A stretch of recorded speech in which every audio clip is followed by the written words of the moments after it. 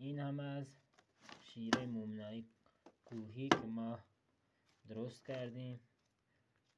جنس خوب کیفیت عالی. این هم خیلی سفته